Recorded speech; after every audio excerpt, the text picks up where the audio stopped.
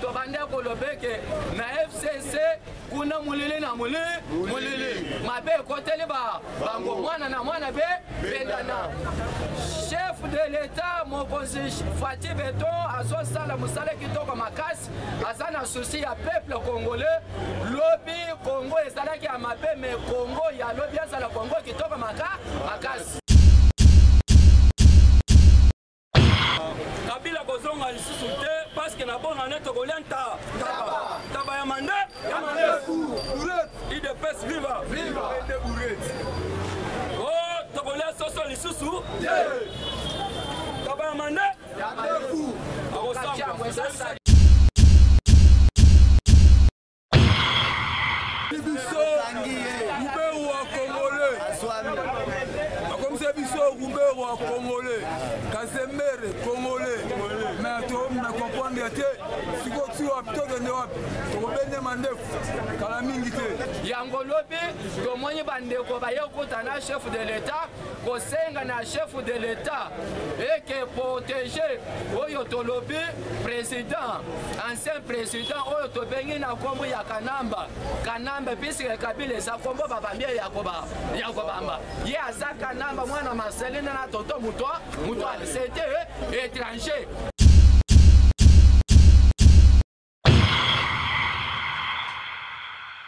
bayiba mbongo ya leta bayibi mbongo ya peuple congolais bavimbisi bamabumu na bango basombi mapango batikala kosala mosala te landela bango juske ke tobeta kiololo ya suka yake bango nyonso bazala na prison makala bafuta mbongo ya peuple congolais oyo bayiba banda 18 ans nayebi ekala mingi te okosimba maboko oyo tozobenga ya zoe kabila babandaki kotya na bakesi ya leta nyonso wana oza na kati ya kolandela merci na mosala ozosala tozokota sikoyo na mosala chef de leta azosala oyeba ke tobandaki kolobeke bato mosusu baza nsima bazoya kokota na masolo ndeko tobandaki kolobeke na fcc kuna molele na mole molele mabe ekoteli ba bango mwana na mwana be bendana chef de l'etat mokonzi fati beton azosala mosala kitoko makasi aza na susi ya peuple congolais lobi congo ezalaki ya mabe me congo ya lobi azala congo kitoko maka makasi lobi ndeko na ngai bisika ozali na banzete oyoki nemi nemi azalaki muntu moko te azonga nsima soki ozomona bachange elobeli cetadire ya makambo ekomi maka makasi idps viva tombola loboko kanga bas baza nde maka nazoyebisa bino nemi asengi alobi chef de l'etat kokanga masolo te maso ekangama te toyokaki information malamu te biso mpe tozoya tokɔta na maso na maso tozoloba ata baye bayeba ke esika na bango prison maka makali idps vivant mpe lobi mokonzi ayambi bamosusu na kamwe ndenge kaka etienne tshisekedi mbuta muntu tata na biso koko na biso ayebisaki bino biso ke moma bokoyeba lisusu information te ekobanda kolandela te basigne du temps ekotalisa bino moma mboka ezo ezokende yango lobi tomoni bandeko baye kuta na chef de l'etat kosenga na chef de l'etat eke protege oyo tolobi président ancien président oyo tobengi na nkombo ya kanamba kanambe pisi ya kabila eza kombo babambi ye ya kobamba ye aza kanamba mwana marcelina na toto moto moto alisete eh, étranger anyokoli biso tozolobeke merci bozoya kosenga lelo bino bofingaki biso aza etikete ya pamba bapesaki bokonzi toyebisaki bino eke bokokomprendre idepese viva facibe kombololo bokokanga basi nayebiso likambo Udps viva! Viva! Lobi communiqué epesami. Udps viva! Viva! Na armée na biso porte parole ya FARDC apesi na peuple congolais ayebisaki bango le peuple congolais vendredi ya lobi bozala na bobangi te Puisque tozo yamba bibondeli ya si. Nani ayebi message idps viva balobi bapesi message na peuple congolais bofanda kimia soki bomoni bavio de ker ekiti na mboka na biso bosala ya kobanga te bazoya mpo na koprotege peuple ko idps viva kabila na kingakaci akoti toilette ata 20 fois par jour toyebisaki bango bomoi na biso bayuma te biso nde toyokoli politike 37 tosalaki ya lite ezaki ya pamba te toyebi kosolola toyebi kokoce lelo bazosutuka soki omoni nemi azoya bazoya pamba te baya baya te toza na mposa na bango te toza mayele toyebi kokoce tobunda Fatshi abunda bitumba oyo so mwana ya Bible oyo Eli abundaki na ba prophète ya Baal ebele Fatshi abundi ye moko asangisi bango nyonso liboka mo moko IDPS viva yango tozoloba na chef de l'etat toza na posa ya bato wana te toza na posa yo koche sala mosala puisque peuple congolais bazozela message oyo okopesa puiske eza na avantage ya peuple congolais yango tozoloba lelo tozokebisa bato nyonso oyo babande konyokola peuple congolais idps viva ezala na polise protéger peuple congolais na biloko na na ye botika peuple congolais pouvoir eza ya biso soki omoni ezala ya la police aza na salaire oyo bapesaka ye biloko wana eza ya 18 ya kabila na faci tokotelemela ya yango idps viva faci be kongolo loboko kanga base awa tolingi komona polise te aye kotelemela bamama kosenga bango mbongo tozokebisa bango kala mingi te avio de kere ezokita na r2 rdc na ngonga ya kotanga yango nde tozokebisa bato nyonso ya fcc bakomi kobanga bakomi kozonga na nzela toyebisaki bango bakomele bakomese idps viva na katanga akende lisusu kata katanga kuna bakongole mpe basensibilize balobi eke na mboka na biso moto akota te soki oyoki olive lemba deplase na kimuyibi bazongisi ye cetadire eza na ata moko te okoki okatisa ata libanda ya mboka te soki okatisi bakozongisa yo toyebisaki bango bazomona tembe lelo bakomi kokangamisaka na bango idps viva bakanga yango ekotikala a awa eza mboka na biso tomonelaki pa pasi eza na eloko ebandaka mpe ezaka na suka na ya toyebi tosouffrir mingi mais c'est l'etat nzambe asi atali biso na miso ya, ya mawa soki olandi ndeko na biso ayembi alobi ekongo soki ololongoli elamba ya mawa pliske esengo ya kongo esemona emonani mpo na kosukisa nazopesa message na chef de l'etat mpe na merci na papa kasongo nayebi eke topesaka yo information toza na bato oyo tozolandela na ville mobimba bapolisie oyo bazosala mosala mabe na banzeke papa kasongo tokopesa lisusu information ti tokoma lengi tokopesa yo baye bazobima na alpa na bango baya kodetruire peuple congolais moma bakobotola peuple congolais biloko bafinga chef de l'etat bafinga yo ozosala mosala kitoko makasi tozomona bakomina nyonso kimia ekoti mpo na bakulune nyonso ozokanga sala mosala kitoko tokopesa information ya bapolisie nyonso bato nyonso bazosala mosala mabe tokopesa yango merci papa ozosala mosala malamu tozokourage yo biso tozolobelo merci na gouverneur gentini kobila me tozoloba eke atala vila na ye puiske ce moment oyo aza mwana mboka akosala mosala mpona mboka na ye mpona peuple congolais nasukisi awa nazopesa message na bacongolais bakombata babundi baza libanda ya, ya, ya mboka baza na belgique boza na france boza na canada boza na états-unis bosoutenir chef de l'état Bo soutenir parlement Chimare, bo soutenir IDPS,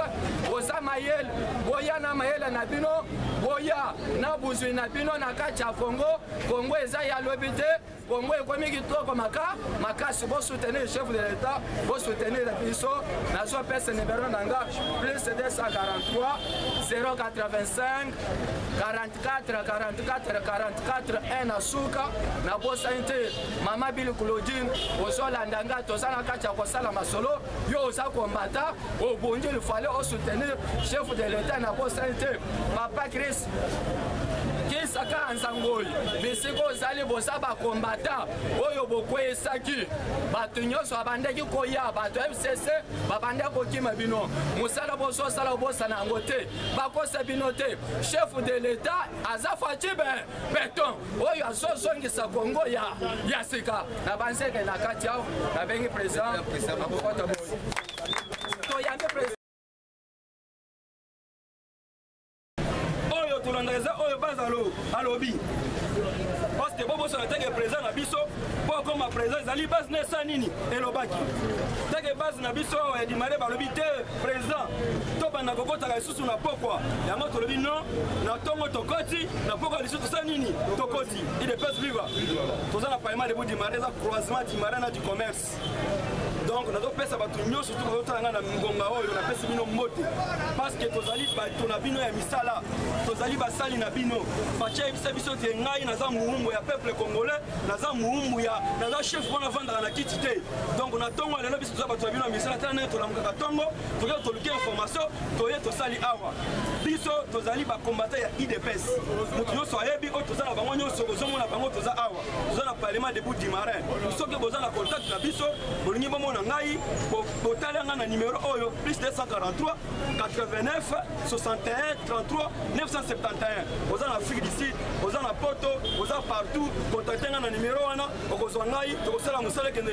liboso yango nasengi mpe ndeko na ngai akota apesa ba message moke tobetele maboko idps vivo idps vivo idps vivo fatime fatime oyakoya lumelume mwete mwete nazopesa de message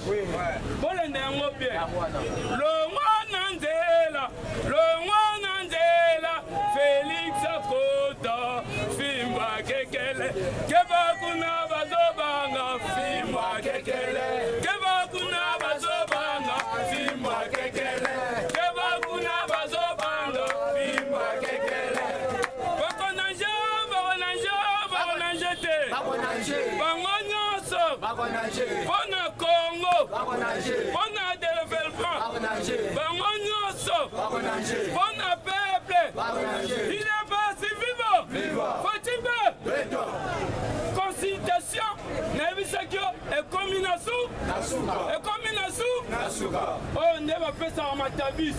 soki nzambe asali mosala apemaka te eza boye te ah fati akomi kosala de temps na ntongo azobeta biloko yebela na 13 akomi koyamba bato sikoyo azosala na nini lelo naopesa bino information oyo bazobeta bino na batop congo lokuta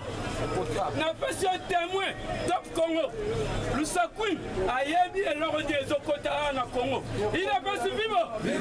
yango omoni losakui soki bazotuna ye azopose bango baquestion bino boza majorité soki président nazwi majorité nini ekoko bazotela misu papa baboyaki trois juges baprete serment ngai priere na ngai ezalaki mabunda na tambwe mamba baya baya place to récupère pouvoir yango wana yango amonaki faci abetaki boye il est pasi viva faci be abeti deboulonnement deboulonnement euti wapi euti na tekiniki ntango mekanisi azofongola bulo balobani deboulonnement bato bakomprane te alobi te nazo deboulone système kabiliste bakamwaki balobi eh, alobi changement mentalité bakomprane te alobi ah, nakozwa bango bien abi consultation euti euti mpo ya minganga ntango ozobela fo kepa munganga asala nini fo ayeba maladi nini ozombe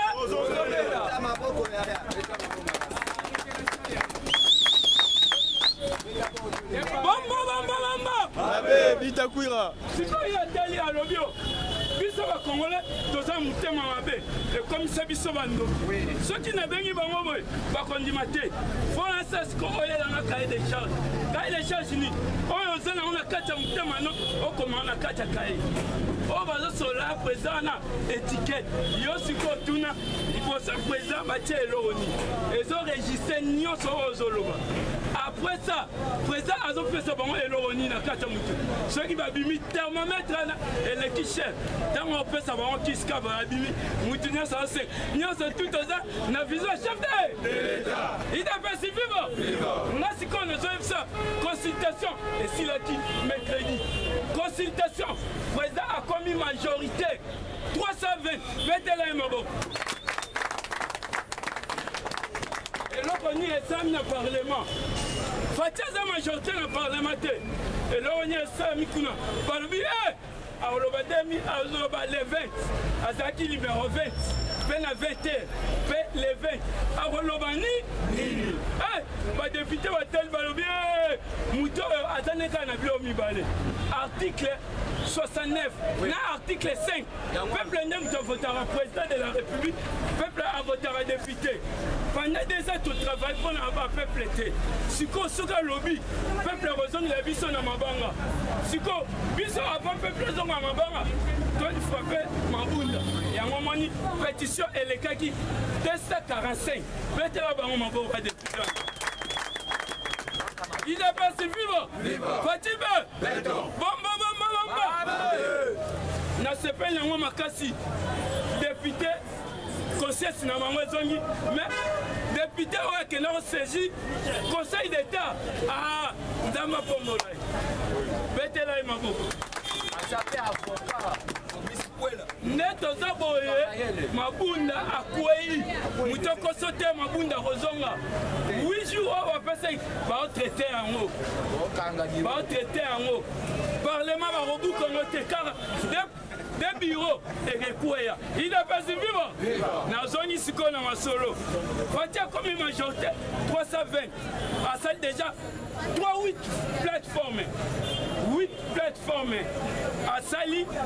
abimisi kaka na kati ya 8 plateforme wana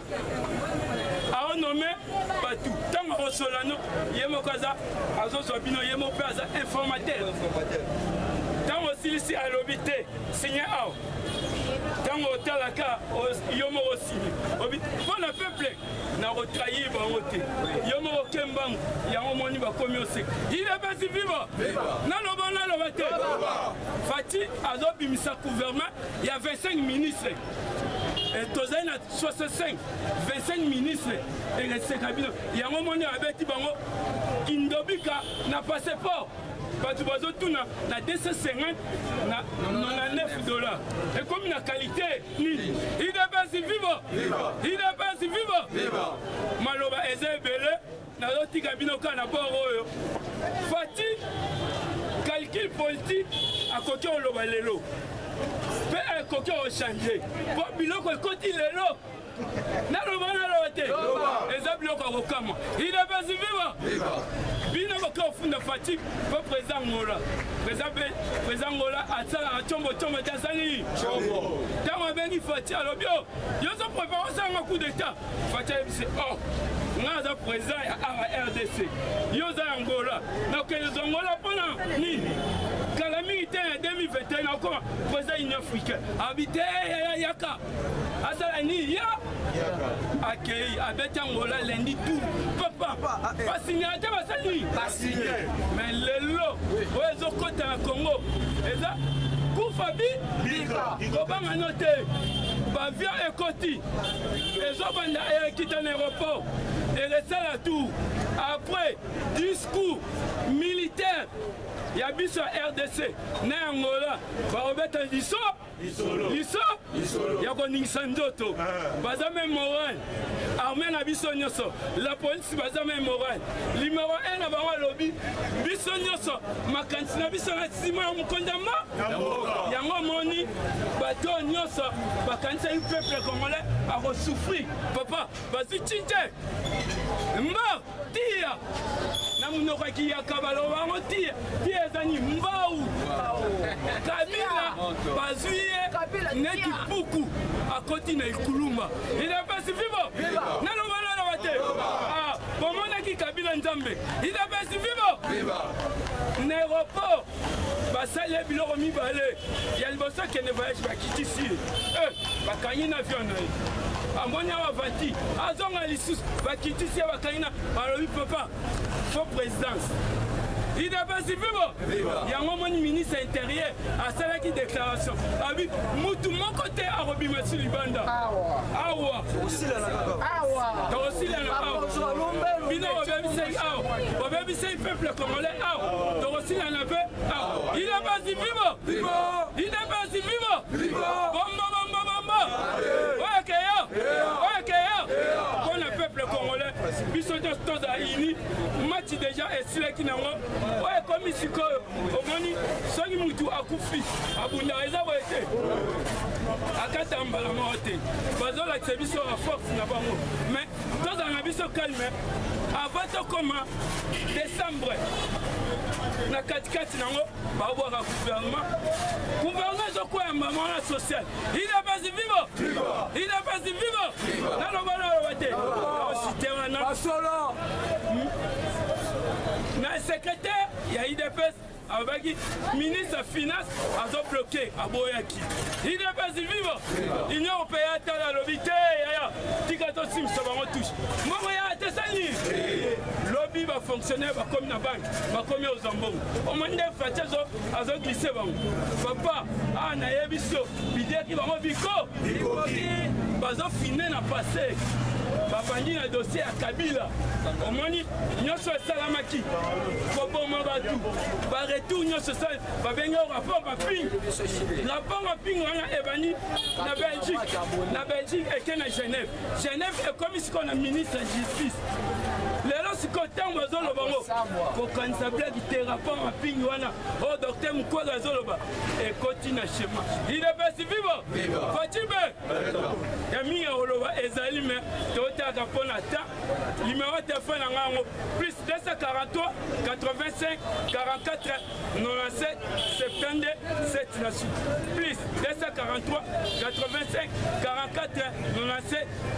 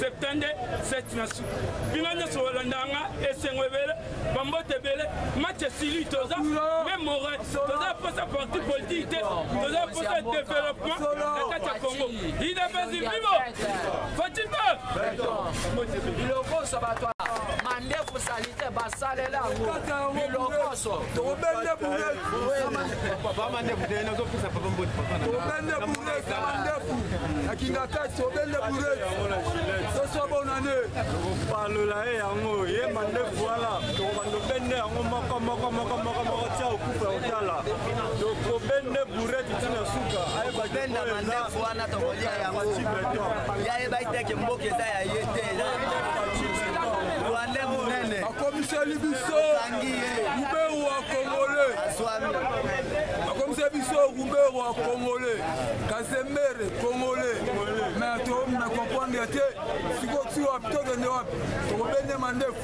kala mingi te amito faci beto alamusi mboka mboka isimakara congole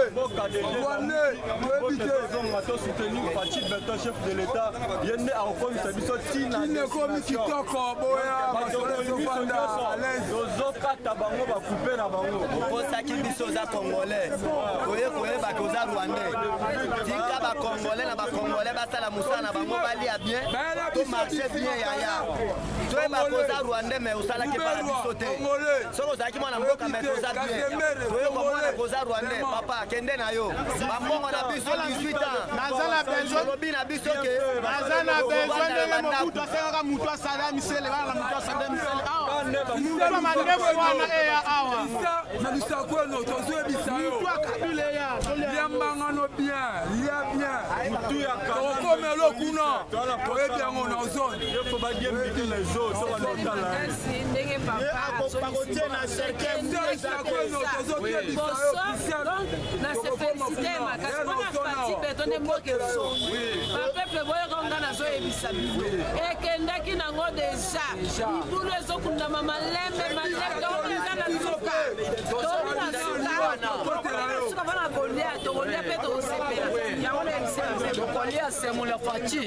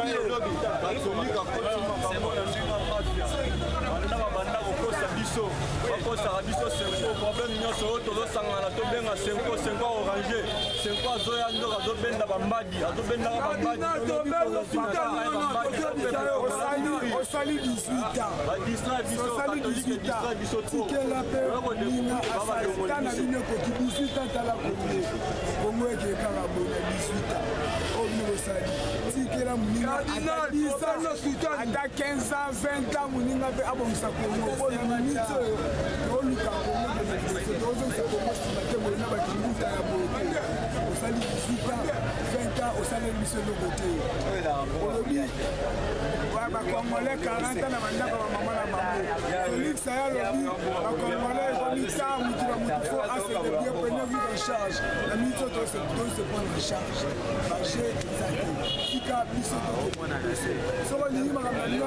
mpona kongotika